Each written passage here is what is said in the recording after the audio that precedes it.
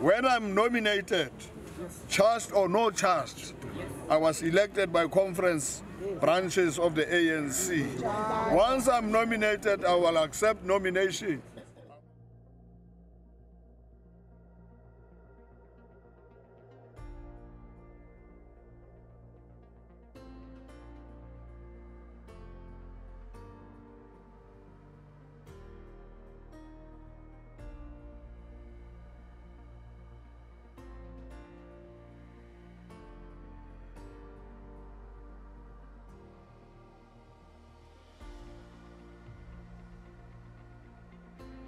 It is a deliberate move by the National Prosecuting Authority.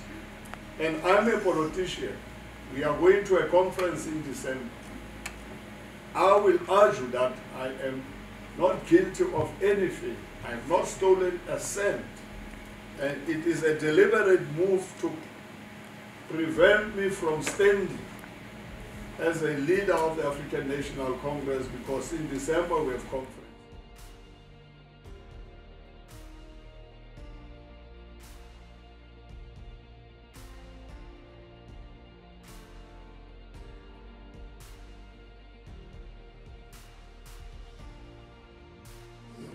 All of us will only contest once we are nominated.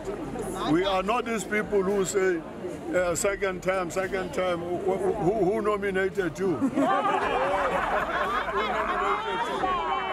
Yeah?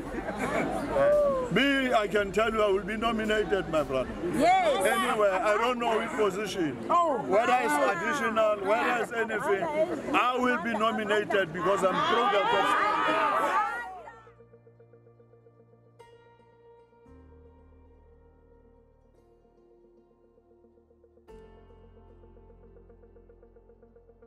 The intention is to kill the African National Congress come 2024.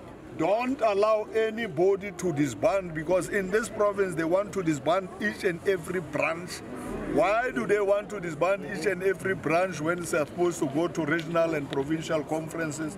Because they know that they cannot manipulate, they cannot buy these people in this province. Money is playing a lot of role here. Millions of rands. Dollars. I don't know whether it's part of the dollars and whatever.